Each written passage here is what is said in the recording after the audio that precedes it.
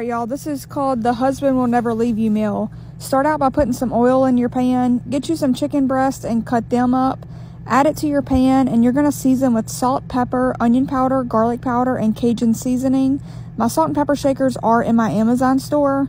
When your chicken gets done, go ahead and take that out and put it in a separate bowl. Leave the drippings in your pan.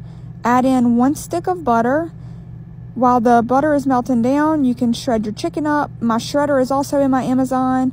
Then you're going to dice up an onion and a jalapeno. You're going to add that in with the melted butter.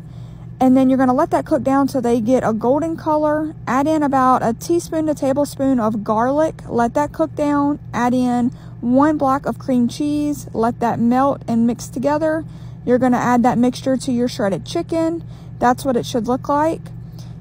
Shred you up some cheese and then you're gonna spray your pan put the filling in your tortilla. You can use flour or corn whatever you prefer. Roll them up put them in the pan. You are going to put heavy whipping cream on top and then you will top that with your shredded cheese. Put it in the oven on 350 for about 30 minutes and y'all it literally comes out perfect. So apparently these like husband never leave you enchiladas or something? So we're about to try them out